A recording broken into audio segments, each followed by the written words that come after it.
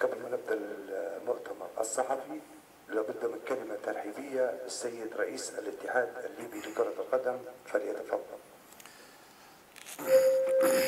أول شيء بسم الله الرحمن الرحيم والصلاة والسلام على سيدنا محمد خاتم الأنبياء والمرسلين في البداية لابد أن أرحب بكل الإخوة الإعلاميين سواء قنوات مرئية أو مسموعة أو مقروءة بداية حقيقة حبيت أني نعمل هذا المؤتمر لنوضح للشارع الرياضي والجمهور الرياضي وكل الناس في ليبيا المهتمين بالرياضة وعارفين أن كرة القدم طبعا هي الركيزة من ركائز المجتمع في كل العالم.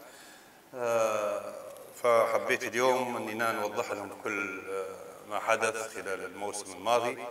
الحقيقة اللي نعتبرها حتى من خلال كل الآراء أنه هو موسم ناجح بكل سلبياته وإيجابياته. بالتأكيد كل شيء له سلبيات وإيجابيات.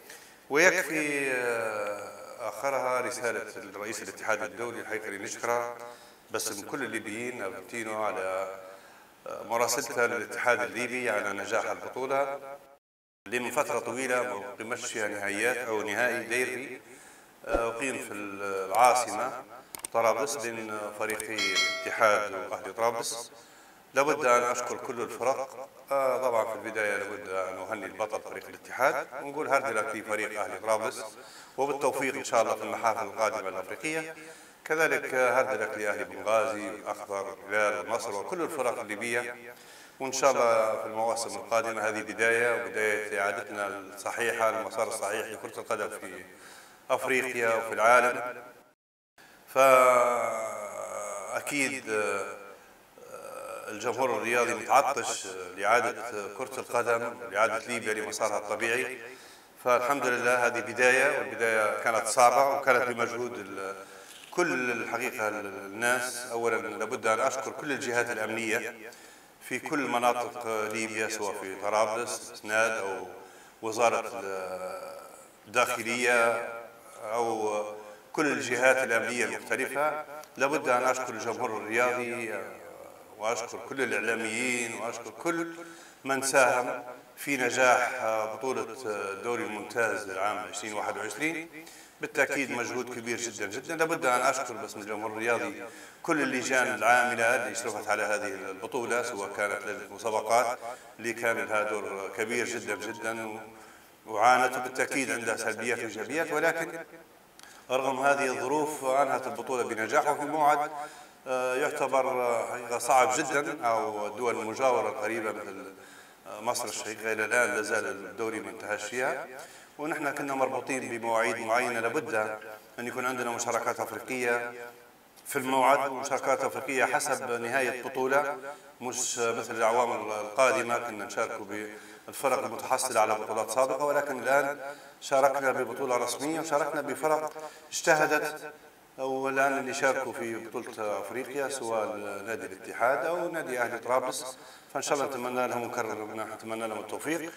هذا الموضوع بالتأكيد راوا لها جوانب كبيرة جدا تعود على ليبيا بالخير. عندما يكون الآمن والأمان في ملاعبنا راوا الموضوع منطق وأنا سبق وحدثت أكثر من مرة قلت لكم نراه في متابعة سواء من أفريقيا أو من العالم أو حتى من الاتحاد الدولي ودليل على ذلك بعد تقريبا 72 ساعة وصلتنا الرسالة الحقيقة اللي كانت ترفع المعنويات إن نحن أعدنا الكرة الليبية وإن نحن مثلنا مثل كل الدول فيها بطولات تنتهي بنجاح.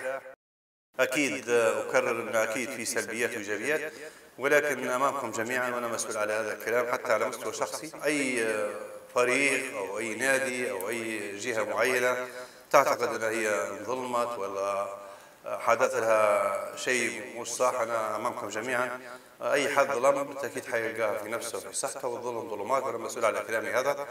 و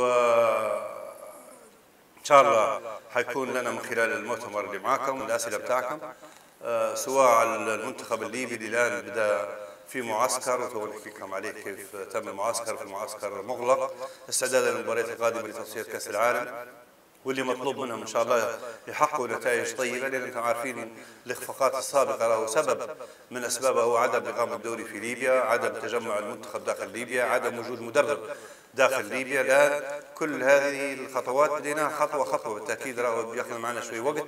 ولكن آه، الموضوع هذا آه لابد من صبر من الجمهور الرياضي لأنك أنت لما تبني شيء من جديد تقريبا من أكثر من 12 سنة نحن عانينا من مشاكل كثيرة من إغلاق ملاعب من عدم مشاركات داخلية وخارجية من عدم اقامه الدوري داخل ليبيا وهذا مشكلة كبيرة جدا كان عبارة عن تجمعات معينة في دول مجاوره كانت تكاليف كبيرة جدا جدا للمعسكرات والمدربين كانت اخفاقات كاملة.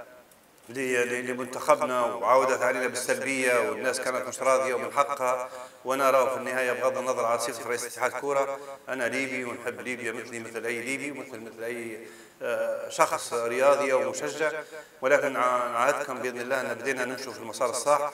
لابد انكم توقفوا معنا ولابد انكم تساندونا ولابد أن نقفوا مع منتخبنا. ولابد أن نرى الاعاده بايش نتائج سريعة واخفاقات سريعة. لابد من صبر لأن الآن بدينا خطوات آه، نعتبر فيها آه، احترافية آه، أسوة بالدول المجاورة سواء في إحضار المدرب بعد ما استعنا في اختياره وممكن كنا كم مرة أخفقنا في اختيارات سابقة ولكن بعد ما دراسة كاملة لأعضاء مجلس الإدارة في اتحاد الكورة اللي لابد ولو تكونوا راضين علينا ومش راضين لكن لابد نقول لكم نبذلوا جهد أعضاء مجلس الإدارة لهم كان لهم دور. في نجاح هذه البطولة في إعداد المعسكرات اللي الآن به منتخبنا الأول.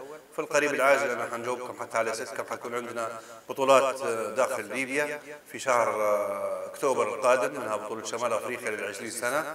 وإن شاء الله نقدر نستضيف حتى بطولات أخرى خاصة بمنتخبات أو خاصة ببطولات أفريقية أو بطولات عربية أو حتى بطولات دولية.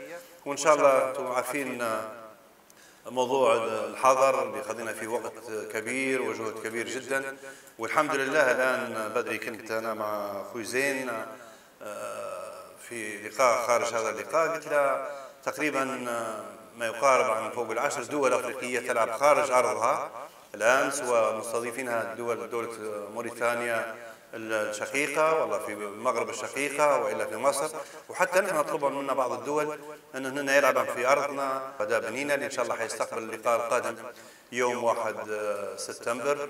آه، ملعب طرابلس اللي نحن الآن نسعى بكل جهدنا مع الجهات المعنية لأن نبي نأكد للناس راه الموضوع.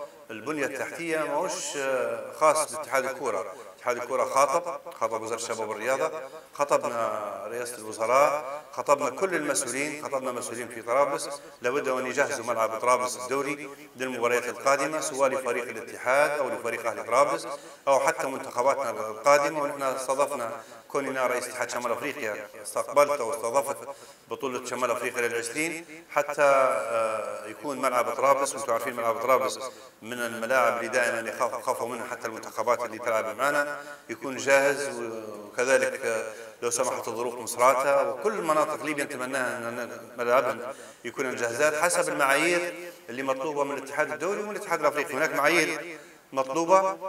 الحمد لله وصلنا في ملعب شهداء بنينا. آه، أن نحن آه، جزء كبير من هذه المعايير ونتمنى من خلال كمان المباراه الجابون القادمة ما تكونش نفس مباراة تونس كان فيها بعض الأشياء الحقيقة سواء في الدعوات أو طبع الدعوات سواء في الدخول. الآن نسعى مع الاتحاد الأفريقي إن شاء الله حيكون في جمهور بالنسبة والتناسب حسب الملعب بكل حسب ما في الدول الأخرى إن حيكون جمهور ولو حسب النسبة اللي أعطوها لنا الاتحاد الأفريقي. قاعدين نسعى الآن وإن شاء الله نكون وصلنا لمراحل متقدمة عن طريق السيد الأمين العام لأني أنا تكلمت معه وتكلمت مع السادة أعضاء المكتب التنفيذي وعندي معهم لقاء خلال الأيام القريبة القادمة إن نحن يكون عندنا جمهور بالنسبة والتناسب وحنجاوبكم عليه لأن مش نسبق الأحداث حتى في الدوري القادم إن شاء الله نحاول بقدر ما نستطيع إن شاء الله اولا كل الليبيين وكل العالم نخرجوا من جائحة كورونا باش نكونوا آه، آه، مهتمين حتى بناس لأن يهمنا صحة الإنسان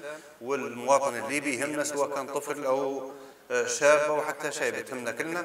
وهذا راهو مش منا نحن اللي منعينا إحنا راهو اللي مانعه هي اللجنة الطبية وعندها حق ان تشوف الظروف كل يوم تأزم.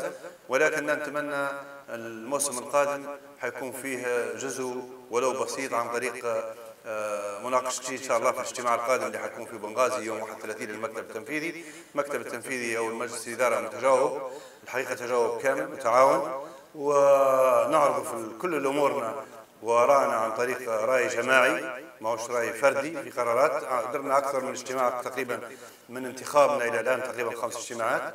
واجتماع القادم إن شاء الله حيكون في بنغازي على هامش مباراتنا القادمة اللي حتكون يوم 1 آه، سبتمبر زي ما قلت لكم.